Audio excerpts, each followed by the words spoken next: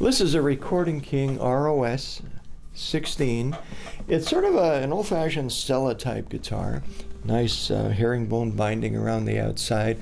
12 fret to the body neck, slotted headstock, diamond on the back of the headstock. Uh, wide, wide fretboard, so it makes it very easy to do old-fashioned finger-style blues. And we'll play a little bit of Come Back Baby.